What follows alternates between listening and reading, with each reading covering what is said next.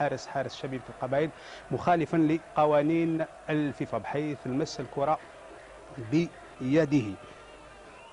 قلت بعد هذا الضغط فكان رد من جانب شبيبة القبائل في الشوط الأول ومن بين الفرص. نشاهد هذه الفرصة لمفتح كانت فرص أخرى كذلك لحاج عدل انتهى الشوط الأول بنتيجة صفر مقابل صفر. مخالفة نفذها نقازي وهدف أول عن طريق بختي في قلت العشرين دقيقة الأخيرة من الشوط الثاني. استطاع الشباب شباب الوزداد أن يفرض سيطرته ويضغط على دفاع شبيبة القبائل ويسجل الهدف الأول عن طريق بختي الهدف الثاني جاء بعد تنسيق جيد انطلاقا من وسط الميدان انطلاقا لكابران ثم جحمون وفي الأخير نقزي يضيف الهدف الثاني اللي كان حقيقة في المستوى. هذا إذن الهدف الثاني ونتيجة اللقاء. هدفين مقابل صفر لصالح شباب